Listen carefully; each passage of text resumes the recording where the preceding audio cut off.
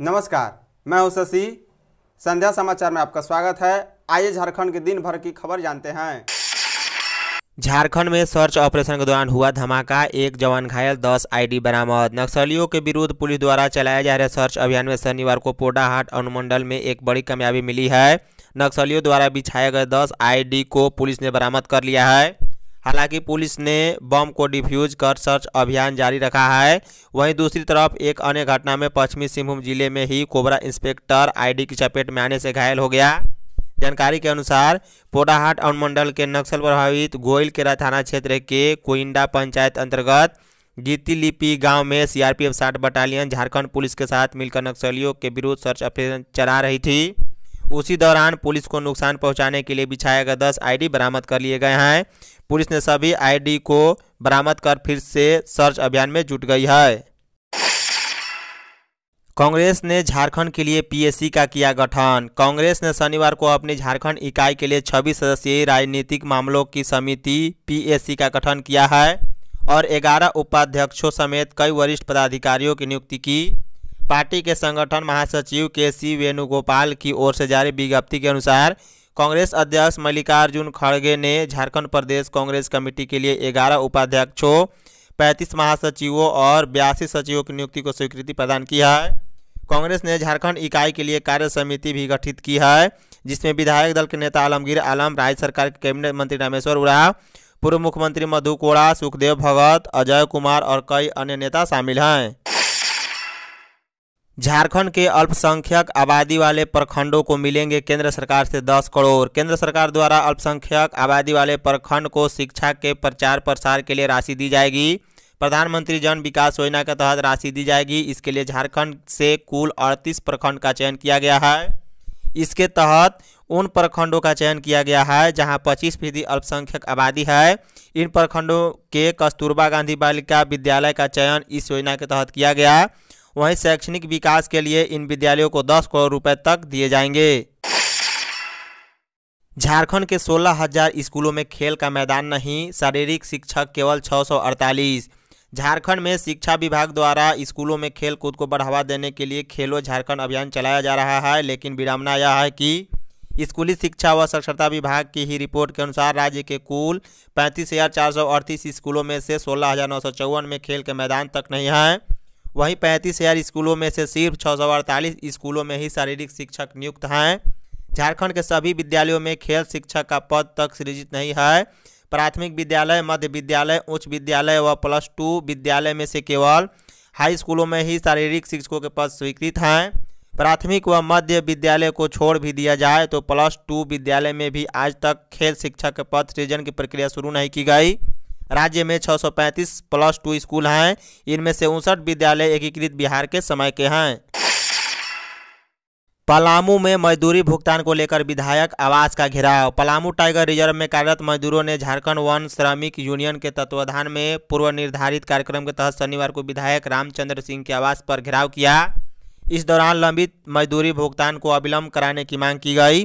साथ ही यह कहा गया है कि जब से पलामू टाइगर रिज़र्व में मजदूर के रूप में कार्यरत हैं, अब तक कभी भी नियमित रूप से मजदूरी का भुगतान नहीं हुआ है। इस कारण मजदूरों को काफ़ी परेशानी का सामना करना पड़ता है। पीटीआर के मजदूर जंगल और जानवर बचाने के लिए जान जोखिम में डालकर रात दिन मेहनत करते रहते हैं। इसके बावजूद, इसके वन प्रबंधन के द्वारा मजदूरी भुगतान में सक्रियता नहीं दिखाई जाती है। समय पर मजदूरी भुगतान नहीं होने के कारण कई मजदूरों के घरों में चूल्हे भी नहीं जल पाते हैं। रांची हिंसा मामले में सीबीआई से हो सकती है जाँच। झारखंड हाई कोर्ट के chief justice doctor Ravi Ranjan और जस्टिस एस एन प्रसाद की खंडपीठ में रांची हिंसा की एनआईए जाँच को लेकर दाखिल जनहित याचिका पर सुनवाई हुई। सुनवाई के बाद अदालत ने मामले में राज्य के गृह सचिव और डीजीपी को तलब किया है। अदालत ने मौखिक रूप से कहा है कि मामले की जाँच में विरोधाभास है। ऐसा प्रतीत होता है कि सरकार ही सही जाँच नहीं चाहती, क्योंकि इससे जुड़े कुछ मामले की सीआईडी जाँच रही हो तो कुछ केस की पुलिस की है। सीआईडी और पुलिस की जाँच रिपोर्ट में अंतर आने पर जाँच को बंद कर दिया जाएगा। नियुक्ति को लेकर हफ़्ते भर में अपने बयान से पलटी सरकार। झारखंड हाईकोर्ट के chief justice doctor Ravi Ranjan व जस्टिस एस एन प्रसाद की खंडपीठ में एफएसएल में नियुक्त को लेकर सुनवाई हुई। अदालत ने इस दौरान राज्य सरकार द्वारा दिए गए जवाब पर कड़ी नाराज़गी जताते हुए पचास हज़ार रुपये का हर्जाना लगाया। हालाँकि सरकार के बार बार आग्रह करने पर अदालत ने संबंधित आदेश को वापस ले लिया है। अदालत की नाराज़गी इस बात पर थी कि गत दो दिसंबर को सरकार की ओर से एफएसएल में चतुर्थ वर्ग पद पर नियुक्ति के लिए जेएसएससी को अधिसूचना भेज दिए जाने की बात कही गई थी, जबकि एक सप्ताह के अंदर शुक्रवार को हुई सुनवाई में सरकार की ओर से कहा गया है कि जेएसएससी तृतीय वर्ग के पद पर नियुक्ति कर सकती है, ऐसे में अब चतुर्थ वर्ग के पद विभागीय स्तर पर भरे जाएँगे। गुमला में सड़क पर मिले दो युवकों का शव ग्रामीणों ने की तोड़फोड़। झारखंड के गुमला ज़िले के बसिया थाना स्थित कलिंगा गाँव की मुख्य सड़क पर दो युवकों के शव मिलने के बाद हंगामा हो गया। ग्रामीणों ने गुस्सा में आकर जमकर हंगामा किया। मौके पर पहुंचकर पुलिस ने लोगों को शांत कराया। युवक की हत्या की गई है। जानकारी के अनुसार डूमर टोली निवासी शेख दिलसाद उर्फ़ जेरकू पच्चीस वर्षीय और किंदिर केला गाँव के अफसर खान पच्चीस वर्षीय का शव मिले हैं। वहीं सड़क पर बाइक भी मिली है। दोनों बाइक से जा रहे थे। शव मिलने के बाद ग्रामीण आक्रोशित हो उठे। लोगों का कहना है कि ये सड़क दुर्घटना नहीं है। लोगों ने कलिंगा के समीप राउरकेला रांची मार्ग जाम कर दिया है।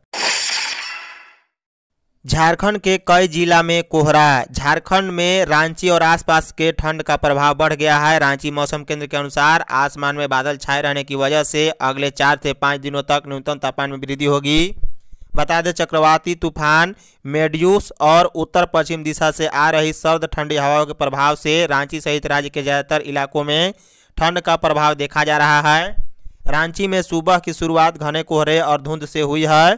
आसमान में छिटफुट बादल की वजह से धूप नहीं निकली, इसलिए लोगों को ठंड का एहसास ज़्यादा महसूस हुआ है। कोलकाता पुलिस के अफसरों से पूछताछ करेगी सीबीआई अधिवक्ता राजीव कुमार से जुड़े कैश कांड मामले में अब सीबीआई की टीम कोलकाता पुलिस के अधिकारियों से पूछताछ करेगी।